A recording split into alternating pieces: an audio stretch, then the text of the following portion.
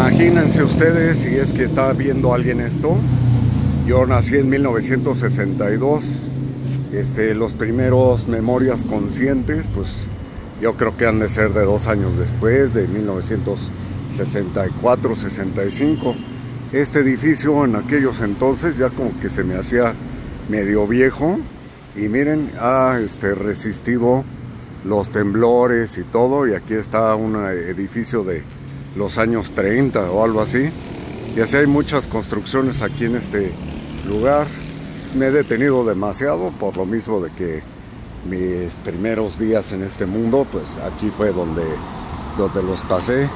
Ahora yo ya estoy en Cuernavaca Morelos México un poquito lejos pero pues ahí está mucho mejor que todo este tráfico y todo, aunque la Ciudad de México pues ya ha mejorado muchísimo en cuanto a su aspecto y mantenimiento.